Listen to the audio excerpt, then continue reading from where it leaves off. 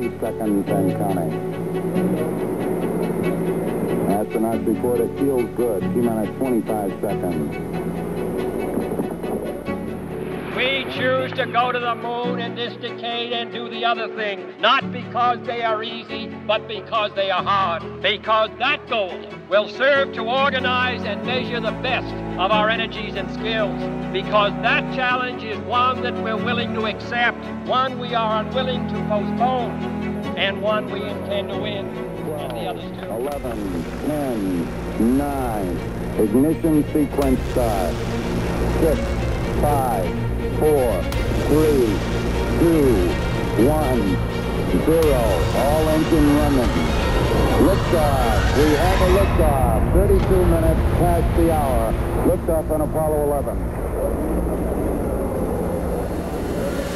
Power clear.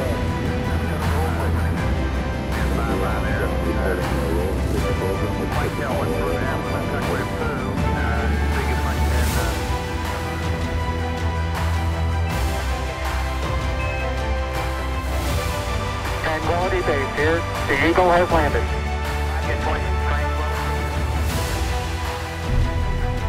One small step for man,